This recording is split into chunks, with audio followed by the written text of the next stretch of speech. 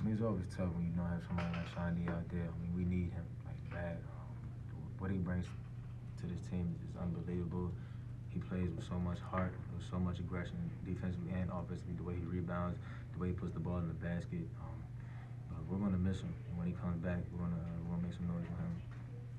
What was going right to start the second half? I think it was 11-0 run. Uh, what did you guys have going well at that point? Uh, just rebounding. Uh, you know, was attacking the pressure. We didn't let the pressure get to us. We didn't settle.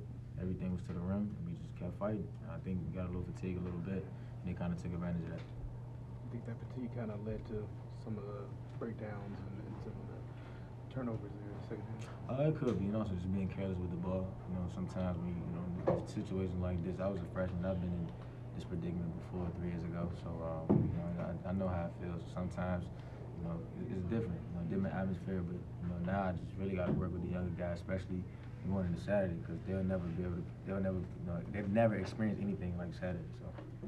You guys carry some confidence into that place, knowing how close you came last year there? Come on, man. You know the answer to that. Come on, man. I, I still got that bad taste in my mouth.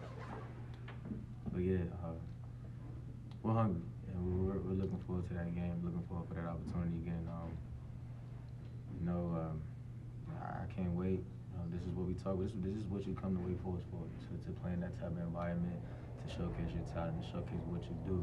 Um, we're not ready to play. There's something that's wrong. I tell guys all the time, man, just enjoy it. You know, I know it's competitive. I know, you know, we kind of get, you know, we talk to one another in different ways in the heat of the moment, but enjoy it and have fun because you may never know when you'll get the opportunity again. How many times you watched of your shot at the end of that one? Every day. Every day. Did you have it like, queued up, saved on the phone or computer? Uh, I have a lot of uh, a lot of film at home, and then also uh, a Duke fan every now and then to send me the video through my direct messages on Instagram and tell me you know I'm terrible or something like that. So. I've, uh, yeah, I've The same. Duke fan or a different Duke fan?